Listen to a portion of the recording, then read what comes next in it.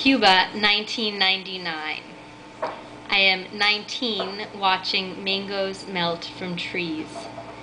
Sticky, viscous liquid dripping to the humid beat of an old man's hands. I survey sweat stains on the back of a black woman's yellow lycra and popsicle stains on a boy's blue shirt. I am fixating on stains in general.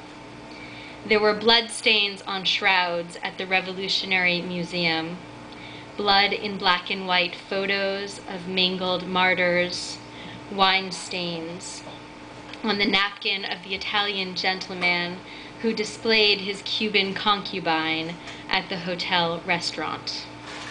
Hotel. there were it goes on. There were water stains on the billboard above Che's black beret.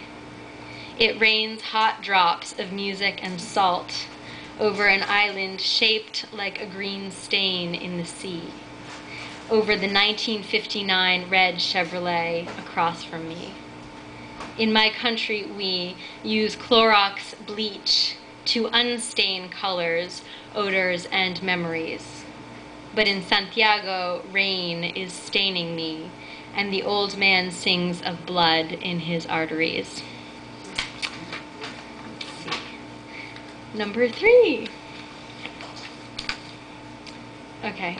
In some weird way, I see this poem as the inverse of that poem. Sorta, not really. Okay. Uh, this is called White World. Snow makes me nervous. It's cold, quiet, colorless. It's white.